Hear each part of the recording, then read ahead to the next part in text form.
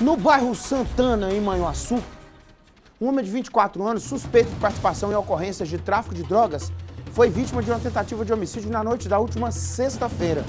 De acordo com a polícia, o rapaz estava sentado na calçada próximo da casa dele, quando uma moto com dois ocupantes se aproximou. Essa dinâmica já é conhecida, né? O garupa disparou cinco vezes em direção à vítima. O homem é, não corre risco de morte, né? Apesar do rastreamento, suspeitos não foram identificados, né? Como é que pode, né? É para todo lado, né? Meu Deus do céu.